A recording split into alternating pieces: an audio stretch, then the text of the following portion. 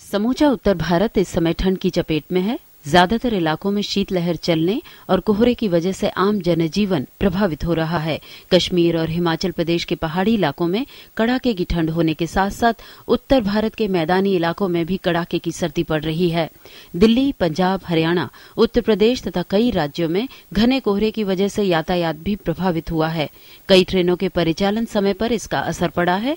दिल्ली में शुक्रवार को न्यूनतम तापमान लगभग सात डिग्री दर्ज किया गया, जबकि अधिकतम तापमान अठारह डिग्री सेल्सियस के आसपास रहा।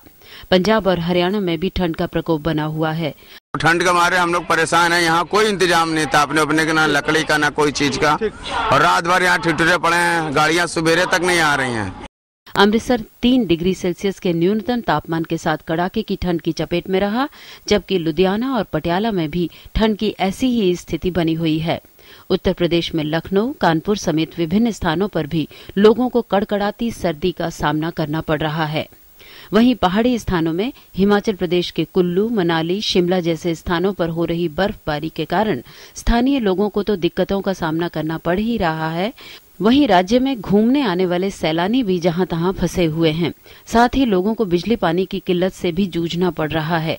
जम्मू कश्मीर के लद्दाख क्षेत्र के लेह एवं करगिल में मौसम का अब तक का सबसे कम तापमान दर्ज किया गया। इस समय जो गलन चल रहा है, इसमें बहुत ज़्यादा बर्फीला मौसम, जैसे लग रहा है कहीं पे बर्फ़ पड़ी हुई है। आज की ठंड इस तरह की लग रही है। सितम बढ़ाती इस सर्दी का एक और शिकार बनते हैं स्कूली बच्चे। हालाँकि कुछ स्कूलों में बढ़ती सर्दी और क्रिसमस नए साल की छुट्टी कर दी गई है पर कुछ स्कूलों में बच्चे कड़ाके की ठंड और कोहरे की धुंध के बीच ठिठुरते हुए स्कूल पहुँच रहे हैं। स्कूल जाने का ठंडी में मन नहीं कर रहा है। वहीं बेघर और सड़क पर रातें गुजारने को मजबूर लोगों के लिए तो सर्दी मानो मुसीबतों का पहाड़ बनकर आती है। प्रशासन के इंतज़ाम भी इस कुदरती कहर के सामने बौने से नज़र आते हैं। Bureau report TT news.